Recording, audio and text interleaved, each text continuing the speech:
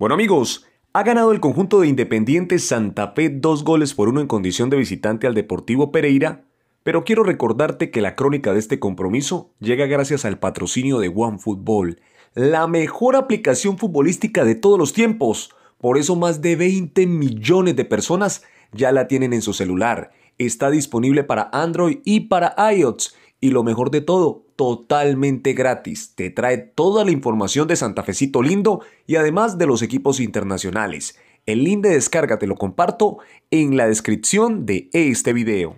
¿Ha ganado Independiente Santa Fe 2 por 1 al conjunto del Deportivo Pereira? Un partido que mi concepto tuvo momentos para ambos equipos y un Independiente Santa Fe que supo pegar cuando tenía que pegar. Miremos la ponderación de jugador por jugador y la calificación que le damos gracias a la mejor aplicación de todas que es OneFootball.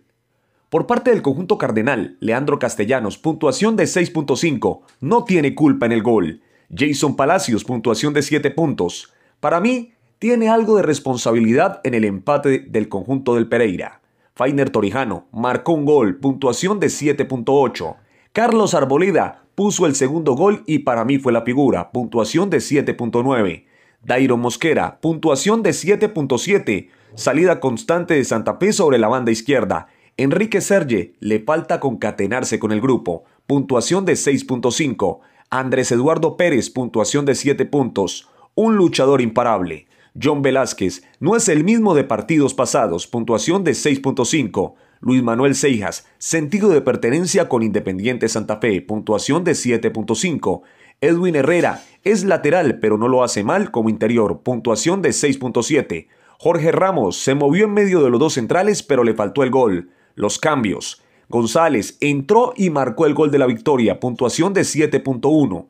Kelvin Osorio entró y también contribuyó a la victoria, puntuación de 5.9. Daniel Giraldo se le nota que tiene partidos encima. Fabián Zambuesa tuvo un tiro libre y la mandó por encima. Puntuación de 6 puntos, igual que Daniel Giraldo. Sí, señores, un panorama complicado para Santa Fe, pero sacó la papeleta adelante. Sacó el partido adelante. A los 15 minutos, Painer Torijano puso a ganar al equipo Cardenal. Reaccionaría el Deportivo Pereira con Diego Álvarez y empataría el compromiso. Así se iría la primera parte, tal vez con escaramuzas de lado a lado. Pero Santa Fe en la segunda parte el técnico Rivera hace modificaciones. Ingresa Zambuesa, ingresa ese muchacho González, autor del gol, ingresa Kelvin Osorio, ingresa Daniel Giraldo y vi otra cosa en Santa Fe. Vi ese Santa Fe del torneo pasado que por poco se mete a la final del fútbol colombiano. Un Santa Fe interesante y llegaría sobre los minutos finales tras un, un centro de ese muchacho Carlos Arboleda la segunda anotación del equipo cardenal y con ese gol lo ganó Santa Fecito lindo. Usted dirá, Juancho, pero no se mostró el mejor fútbol, no le ganamos a cualquiera. Señores, ese Deportivo Pereira no es cualquiera. Escúcheme, ese Deportivo Pereira se las trae. Vino a la ciudad de Palmira, al Monumental de Palmasec y le robó puntos al Cali. Es decir, que no es cualquier pintado en la pared.